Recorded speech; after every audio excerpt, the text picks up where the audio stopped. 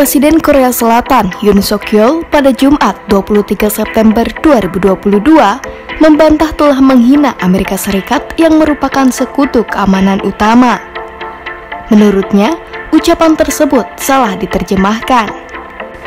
Yoon Suk Yeol terdengar menghina anggota parlemen AS setelah bertemu dengan Presiden Joe Biden di Global Fund, New York. Yon diduga berkata mengenai dorongan Biden untuk meningkatkan kontribusi AS ke Global Fund yang akan membutuhkan persetujuan Kongres.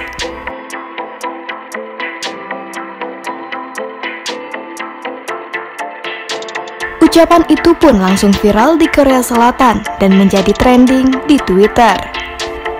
Namun, Juru bicara kantor Presiden Kim Eun-ye mengatakan bahwa Yoon Suk Yeol tidak punya alasan untuk berbicara tentang AS atau mengucapkan kata Biden.